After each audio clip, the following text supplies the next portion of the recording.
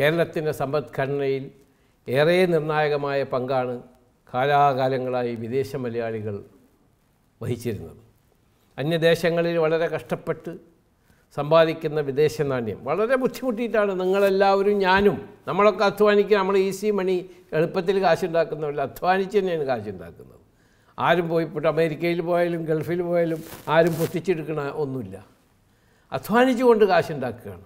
അന്യദേശങ്ങളിൽ വളരെ കഷ്ടപ്പെട്ട് വിഷമിച്ച് സമ്പാദിക്കുന്ന വിദേശ നാണ്യം നമ്മുടെ സംസ്ഥാനത്തിന്റെ സാമ്പത്തിക പുരോഗതിയുടെ ഒരു നെടും തൂണാണ് നമ്മുടെ നാട്ടിൽ ഒരു സാംസ്കാരിക സൗധം പടുത്തുയർത്തുമ്പോൾ നമ്മുടെ രാജ്യത്ത് ഒരു അമ്പലമായാലും പള്ളിയായാലും ചർച്ചായാലും അത് പടുത്തുയർത്തുമ്പോൾ നമ്മുടെ നാട്ടിൽ ചാരിറ്റി പരിപാടിക്കുള്ള ഏതെങ്കിലും കാര്യങ്ങൾ പടുത്തുയർത്തുമ്പോൾ സ്കൂളുകൾ പടുത്തുയർത്തുമ്പോൾ എല്ലാം തന്നെ അതിൽ വിദേശ മലയാളിയുടെ അമേരിക്കയിലുള്ള എന്റെ സഹോ സുഹൃത്തുക്കളായാലും ശരി ലോകത്തിന്റെ എല്ലാ ഭാഗങ്ങളിലുള്ള സുഹൃത്തുക്കളായാലും ശരി അവരുടെ എന്തെങ്കിലും ഒന്ന് അതിലുണ്ടാകും.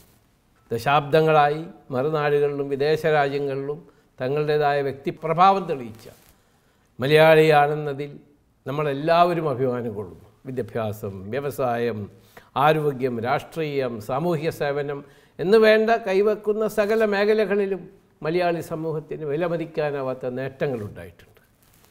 ചെന്നെത്തിയ ഇടങ്ങളിലെല്ലാം തന്നെ മലയാളി തന്റെ ഇടം സൃഷ്ടിക്കുകയും മറ്റേതൊരു സമൂഹത്തെക്കാളും സ്വീകാര്യത നേടുകയും ചെയ്യുകയാണ്. ലോകത്തിൽ എവിടെ ചെന്നാലും മതി. അതാണ് എന്റെ സുഹൃത്തുക്കളെ ഇരിക്കുന്ന നിങ്ങൾ ഇന്ന് അമേരിക്കയിലെ ഓരോ ഭാഗത്തും നിങ്ങളുടേതായ രീതിയിൽ ഉയർന്ന് ഇന്ന് നിങ്ങളെല്ലാവരും സ്നേഹിക്കുകയും ബഹുമാനിക്കുകയും ചെയ്യുന്നത്. ഞാൻ രണ്ടായിരത്തി പതിനാറിൽ അവിടെ വന്നു. ന്യൂജേഴ്സിയിൽ ഒരു ഫുഡ് പ്രോസസ്സിങ് ലോജിസ്റ്റിക് സെന്റർ ആരംഭിച്ചു.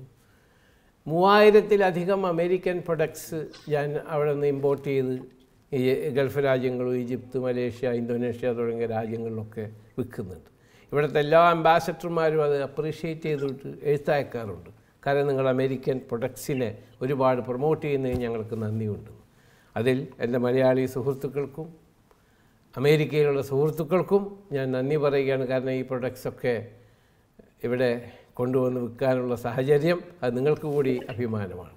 വളരുന്ന പുതിയ തലമുറയ്ക്ക് നമ്മുടെ രാജ്യത്തിന്റെ സംസ്കാരം നമ്മുടെ രാജ്യത്തിന്റെ ഭാഷ പരിചയപ്പെടുത്തണം. അടുത്ത തലമുറയെ ഞാൻ പഠിപ്പിക്കാൻ വേണ്ടി നിങ്ങളെ ഓർമ്മിപ്പി ഓർമ്മപ്പെടുത്തുകയാണ്. കാരണം അവരും നമ്മളെപ്പോലെ കേരളവുമായിട്ട് നമ്മൾ എവിടെ പോയാലും നമ്മൾ കേരളീയരാണ്.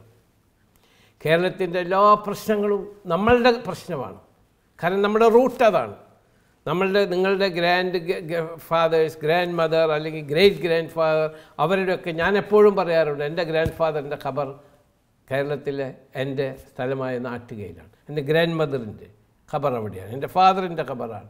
നമ്മളും ഒരു പക്ഷേ അതിനെപ്പോഴും ഓർമ്മിക്കുന്നവരാണ്.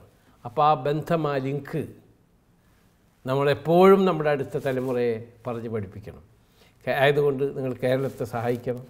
കേരളത്തിൽ വർഷത്തിൽ ഒരിക്കലെങ്കിലും കുടുംബവുമായി വരണം. അപ്പോൾ ചിലർ അന്നൊരു ഒരു മീറ്റിങ്ങിൽ പറഞ്ഞപ്പോൾ ഞാൻ എന്നെ പ്രൊമോട്ട് ചെയ്യുകയും ലൂലുമാളിനെ പ്രൊമോട്ട് ചെയ്യുകയല്ല ചെയ്യുന്നു. നിങ്ങൾ കുടുംബവുമായിട്ട് വന്ന് കേരളത്തിലെമ്പാടും കണ്ട് ചെടികളും ലതകളും കൊണ്ട് അനുഗ്രഹീതമായ പുഴകളും കൊണ്ട് അനുഗ്രഹീതമായ ഈ കേരളത്തെ നിങ്ങൾ നിങ്ങളുടെ അടുത്ത തലമുറയ്ക്ക് പറഞ്ഞ് പഠിപ്പിച്ച് മനസ്സിലാക്കി നമ്മുടെ സംസ്കാരം പറഞ്ഞ് മനസ്സിലാപ്പിച്ച് കൊടുക്കണം എന്നാണ് എനിക്ക് പറയാനുള്ളത്. മഹാകവി ചങ്ങപുഴ രമണനിൽ പറഞ്ഞ മാതിരി എവിടെ തിരിഞ്ഞൊന്നു നോക്കിയാലെന്ത്? അവിടെല്ലാം പൂത്ത മരങ്ങൾ തന്നെ.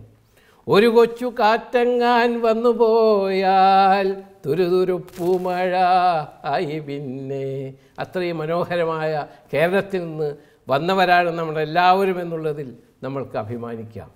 അതോടൊപ്പം നിങ്ങൾ എന്നോട് കാണിക്കുന്ന ഈ സ്നേഹത്തിനും അടുപ്പത്തിനും സാഹോദര്യത്തിനും എന്റെ എന്റെ എല്ലാ സുഹൃത്തുക്കളുടെ സ്നേഹത്തിനും ഞാൻ നന്ദി പറയുന്നതോടൊപ്പം ഇത് ഉദ്ഘാടനം ചെയ്യാൻ വിനീതനായ എന്നെ ക്ഷണിച്ചതിലുള്ള നന്ദിയും അതുകൂടാതെ FOMA business of the generation പുരസ്കാരത്തിന് അമേരിക്കൻ മലയാളികളുടെ സംഘടനയായ ഈ ഫോമ എനിക്ക് തന്നതിൽ ഉള്ള പ്രത്യേക നന്ദിയും ഞാൻ നിങ്ങളെ അറിയിച്ചുകൊണ്ട് ഒരിക്കൽ കൂടി നിങ്ങൾക്ക് എന്റെ അഭിനന്ദനങ്ങൾ അറിയിച്ചുകൊണ്ട് വിനീതമായ ഒപ്പുകൈ. ജയ് ഹിന്ദ്. കേരളത്തെ മറക്കരുതെന്നുകൂടി പറഞ്ഞുകൊണ്ട് അവസാനിപ്പിക്കട്ടെ. താങ്ക്